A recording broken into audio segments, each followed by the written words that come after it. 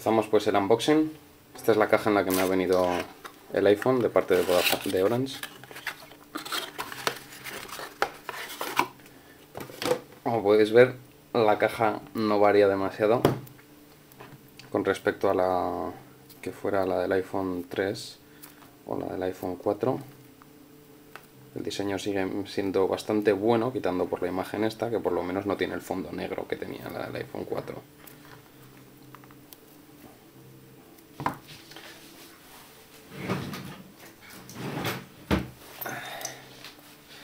Está aún sin desprecintar, así que vamos con cuidadico y con cariño.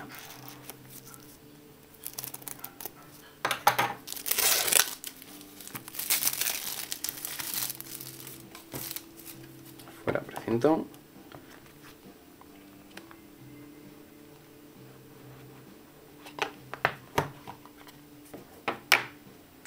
Y ahí ya, primera imagen de un precioso iPhone 4S negro de 16 GB.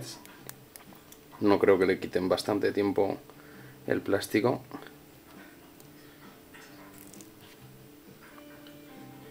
Precioso.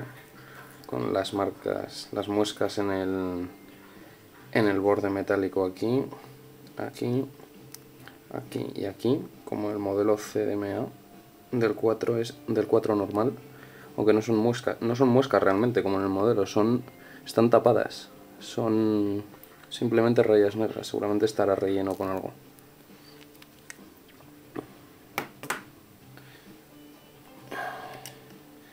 Quitamos la tapa de la pestaña, tapa con las instrucciones. Bastante, bastante pulcro. Y al contrario de lo que decía mucha gente, sí que viene la pestañita para el pequeño clip para mm, sacar la tarjeta, el, slot para la tarjeta.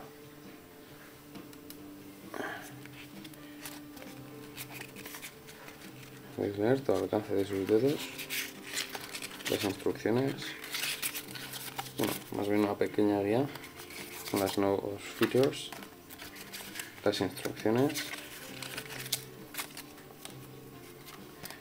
Y un par de pegatinicas con las manzanitas típicas de Apple.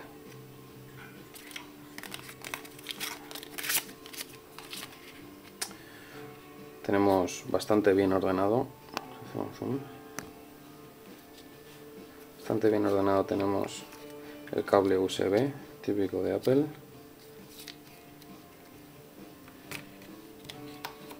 El cargador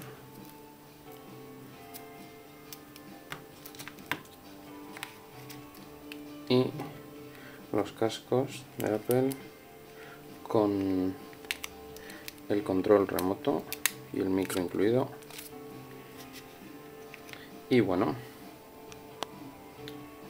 eso es todo. Un unboxing un poco poco profesional por así decirlo debido a la inexperiencia pero personalizado. No te quejarás